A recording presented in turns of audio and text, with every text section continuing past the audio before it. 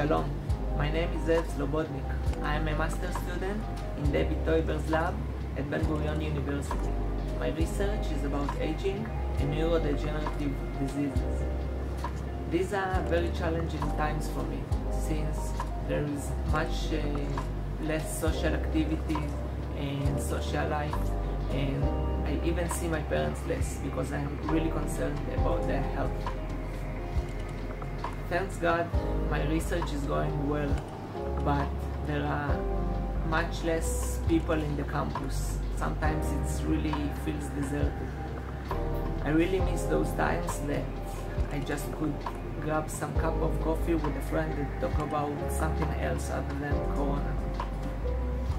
I hope this time will be over soon and we will be back to normal. Until then, stay safe and healthy. туда